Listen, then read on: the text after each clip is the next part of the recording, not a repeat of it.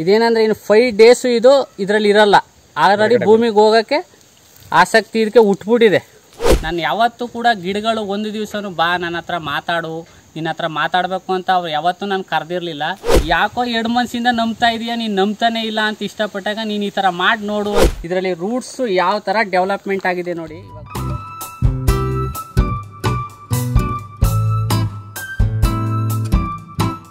ನಮಸ್ಕಾರ ರೈತ ಬಾಂಧವರೇ, ನಾನು ಶ್ವೇತಾ ಕಲ್ಕಣಿ. ಚಾಮರಾಜನಗರ ತಾಲೂಕಿನ ಸಂತೇಮರಳ್ಳಿ ಹೋಬಳಿಯ ಕೃಷಿಕ ಕೃಷ್ಣಮೂರ್ತಿ ಮತ್ತು ಮಂಜುನಾಥ್ ಅವರಿಗೆ ಬೆಳೆಗಳಿಗೆ ನೀಡಬೇಕಾದ ಪೋಷಕಾಂಶದ ಬಗ್ಗೆ ಕೆಲವೊಂದಿಷ್ಟು ಸಂದೇಹಗಳಿದ್ವು. ಆ ಸಂದೇಹಗಳಿಗೆ ಮುಕ್ತಿ ನೀಡುವ ಸಲುವಾಗಿ ಒಂದು ಪ್ರಯೋಗ ನಡೆಸಿದ್ರು.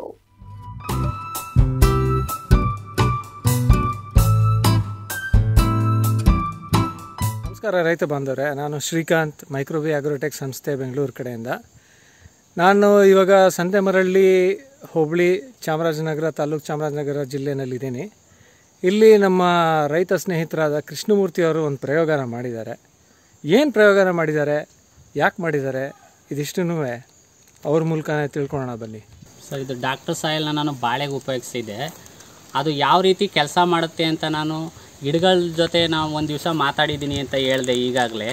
ಆ ಮಾತಾಡಿದ್ನ ಹೆಂಗೆ ವ್ಯಕ್ತಪಡಿಸ್ತೀನಿ ಅಂತ ಹೇಳಿದ್ರೆ ನಾನು ಒಂದು ಪ್ರಯೋಗ ಮಾಡಿದ್ದೀನಿ ಮೂರು ಗೆಡ್ಡೆ ಬಾಳೆ ಗೆಡ್ಡೆಗಳ ತಗೊಂಬಂದು ಕಟ್ ಮಾಡಿ, ಅದಕ್ಕೆ ಡಾಕ್ಟರ್ ಸಾಯಿಲ್ ಬೀಜೋಪಚಾರನ ಮಾಡಿ, ಅದಕ್ಕೆ ನಾನು ಡಾಕ್ಟರ್ ಸಾಯಲ್ ಒಂದು ಫಿಫ್ಟಿ ಎಂ ಎಲ್ನ ಒಂದು ಮೂರು ಲೀಟ್ರಿಗೆ ಇದು ಮಾಡಿ, ಕೋಕೋ ಫಿಟ್ಗೆ ಮಿಕ್ಸ್ ಮಾಡಿ ಬಾಳೆಗೆಡ್ಡೆನ ನಾಟಿ ಮಾಡಿದ್ದೀನಿ ಸುಮಾರು ಇವಾಗ ಹತ್ತು ದಿನ ಆಗಿದೆ.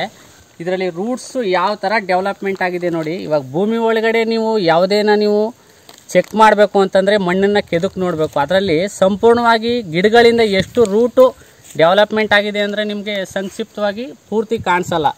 ಇಲ್ಲಿ ನೋಡಿ ಇವಾಗ ಹತ್ತು ದಿವಸ ಆಗಿದೆ ಕೋಕೋ ಫೀಟ್ ಒಳಗಡೆ. ನೇಂದ್ರ ಬಾಳೆ ಇದು. ಎಷ್ಟು ಇವಾಗ ಡಾಕ್ಟರ್ ಸಾಯಲ್ ಬೀಜೋಪಚಾರ ಮಾಡಿ ಡಾಕ್ಟರ್ ಸಾಯಲ್ನ ಒಂದು ಫಿಫ್ಟಿ ಎಂ ಎಲ್ನ ಮೂರು ಲೀಟ್ರ್ ನೀರಿಗೆ ಮಿಕ್ಸ್ ಮಾಡಿ ಕೊಟ್ಟಿರೋದ್ರಿಂದ ಎಷ್ಟು ಬೇಗ ರೂಟು ಇದೇನಂದರೆ ಇನ್ನು ಫೈವ್ ಡೇಸು ಇದು ಇದರಲ್ಲಿ ಇರಲ್ಲ. ಆಲ್ರೆಡಿ ಭೂಮಿಗೆ ಹೋಗೋಕ್ಕೆ ಆಸಕ್ತಿ ಇದಕ್ಕೆ ಉಟ್ಬಿಟ್ಟಿದೆ. ರಾಜೇಶ್ ಅವರೇ ನಿಮ್ಮ ಕೈನಲ್ಲಿ ಇದೆಯಲ್ಲ ಅದನ್ನು ಸ್ವಲ್ಪ ತೋರಿಸಿ ಯಾವ ಥರ ಡೆವಲಪ್ ಆಗಿದೆ? ನೋಡಿ ಸರ್ ನೋಡಿ ಸರ್. ಬೇರುಗಳು.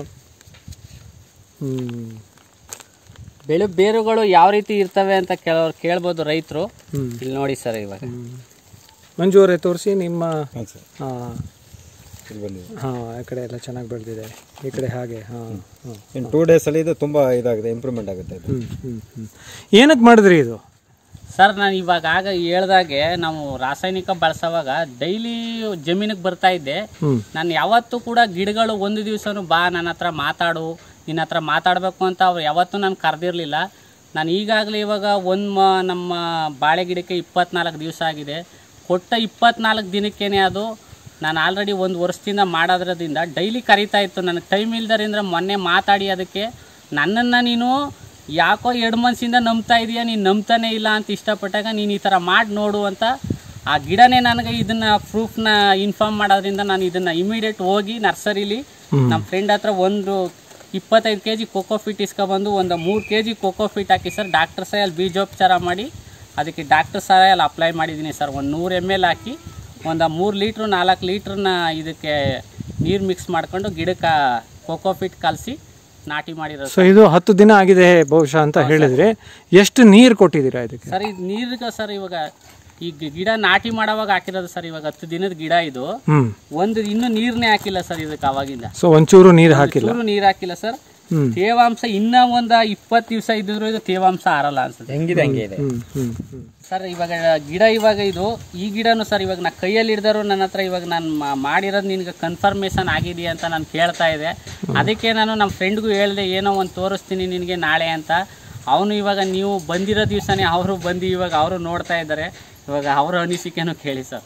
ಮಂಜು ಅವರೇ ಹೇಳಿ. ಸರ್ ಈಗ ನನಗೆ ಇಲ್ಲಿ ಬಂದ ಮೇಲೆ ಇದನ್ನ ನೋಡಿದ ತಕ್ಷಣ. ಈ ರೂಟ್ಸ್ ಎಲ್ಲ ನೋಡ್ದಲ್ಲ ಸರ್ ಈ ರೂಟ್ಸ್ ಎಲ್ಲ ಹೋಗ್ಬೇಕು ಅಂತಂದ್ರೆ ಭೂಮಿ ಒಳಗಡೆಗೆ. ಒಂದು ಮೈನ್ ಆಗಿ ನಮ್ಗೆ ಗೊತ್ತಾಗಿದ್ದೇನು ಅಂತಂದ್ರೆ ಈ ರೀತಿ ರೂಟ್ಸ್ ಬರ್ತದೆ. ಈ ರೂಟ್ಸ್ ಹೋಗೋದಕ್ಕೆ ಫಸ್ಟ್ ಮಣ್ಣು ಫಲವತ್ತಾಗಿರ್ಬೇಕು. ಆ ಫಲವತ್ತತೆ ಹೆಂಗ್ ಬರ್ಬೇಕು ಅಂತಂದ್ರೆ ಡಾಕ್ಟರ್ ಸಾಯಿಲ್ ಯೂಸ್ ಮಾಡಿದಾಗ ಈಗ ಆಲ್ರೆಡಿ ನಮ್ಮ ಹತ್ರ ಒಂದ್ ಫಿಟ್ ಒಳಗೆ ಇದಾಗುತ್ತೆ ಮಾಮೂಲಿ ಡ್ರೈ ಲ್ಯಾಂಡ್ ಒಂದ್ ಫಿಟ್ ವರೆಗೂ ಮಣ್ಣು ತೆಗಿಬಹುದು ಎಲ್ಲ ಟೀ ಪೌಡರ್ ತರ ಇದೆ. ಆ ರೀತಿ ಆದಾಗ ಈ ಬೇರು ಒಳ್ಳೆ ಬೆಳವಣಿಗೆ ಕೊಟ್ಟಷ್ಟು ಒಳ್ಳೆ ಇಳುವರಿ ಬರ್ತದೆ. ನಾವು ಯಾವ್ದು ಒಳ್ಳೆ ಫುಡ್ ಏನು ಊಟ ಮಾಡ್ತೀವಿ ಅದಕ್ಕೆ ತಕ್ಕಾಗಿ ನಮ್ಮ ದೇಹ ಯಾವ ರೀತಿ ಇದಾಗುತ್ತೆ ಅದೇ ರೀತಿ ಯಾವುದೇ ಗಿಡ ಆದ್ರೂ ಬೇರು ಇದಾದ್ರೆ ಈ ಇದರಲ್ಲಿ ನಾವು ನಾವು ತಿಳ್ಕೊಂಡಿದ್ದೇನು ಅಂತಂದ್ರೆ ಡಾಕ್ಟರ್ ಸಾಯಿಲ್ ಇಂದ ಒಳ್ಳೆ ರೂಟ್ಸ್ ಬರ್ತದೆ. ಒಳ್ಳೆ ರೂಟ್ಸ್ ಬಂದಾಗ ಸೂಕ್ಷ್ಮವಾದಂತ ಸೂಕ್ಷ್ಮ ಜೀವಿಗಳು ಉತ್ಪತ್ತಿ ಆಗುತ್ತೆ ಹಾಗೆ ಮಣ್ಣು ಸ್ಮೂತ್ ಆಗುತ್ತೆ. ಸ್ಮೂತ್ ಆಗೋದ್ರಿಂದ ಗಿಡ ತುಂಬಾ ಬೆಳವಣಿಗೆ ಆಗುತ್ತೆ ಹಾಗೆ ಇಳುವರಿನ ತಗೊಬೋದು ಅನ್ನೋದನ್ನ ಈ ಸಣ್ಣ ಒಂದು ಈ ಪ್ರಯೋಗ ಮಾಡಿದ್ದಾರೆ. ಈ ಪ್ರಯೋಗದಲ್ಲಿ ಗೊತ್ತಾಗ್ತಾ ಇದೆ ಸರ್. ರಾಜೇಶ್ ನೀವೇನಾದ್ರೂ ಹೇಳಕ್ ಇಷ್ಟಪಡ್ತೀರಾ? ಸರ್, ನಾನು ನನ್ನ ಕಡೆಯಿಂದ ಏನು ಹೇಳ್ತೀನಪ್ಪ ಅಂದರೆ, ಡಾಕ್ಟರ್ ಸಾಹೇಬ್ ಬಗ್ಗೆ ನಿಮಗೆ ಬೇಕಾದ ವ್ಯವಸ್ಥೆ ಏನು ಇದೆ? ಅದನ್ನು ಚಾಮರಾಜನಗರದ ಪ್ರತಿನಿಧಿಯಾಗಿ ಬೆಳಗ್ಗೆ ಒಂಬತ್ತುವರೆಯಿಂದ ಸಂಜೆ ಆರು ಆರು ಗಂಟೆ ತನಕ ನನಗೆ ಕಾಲ್ ಮಾಡಿ ಮಾಹಿತಿಗಳನ್ನ ರೈತರು ತಗೋಬೋದು ಅಂತ ನನ್ನ ನಂಬರ್ನ ಬೇಕಾದ್ರೆ ಕೊಡ್ತೀನಿ. Double nine six double four seven six one three zero ಧನ್ಯವಾದಗಳು ರಾಜೇಶ್, ಧನ್ಯವಾದಗಳು ಕೃಷ್ಣಮೂರ್ತಿ, ಧನ್ಯವಾದಗಳು ಮಂಜು ಅವರೇ. ಈ ಪ್ರಯೋಗದ ಬಗ್ಗೆ ತಿಳಿಸ್ಕೊಟ್ಟಿದ್ದಕ್ಕೆ ನಮ್ಮ ವೀಕ್ಷಕರಿಗೆಲ್ಲ ಧನ್ಯವಾದಗಳನ್ನು ತಿಳಿಸ್ತಾ ಇದ್ದೀನಿ. ನಮಸ್ಕಾರ.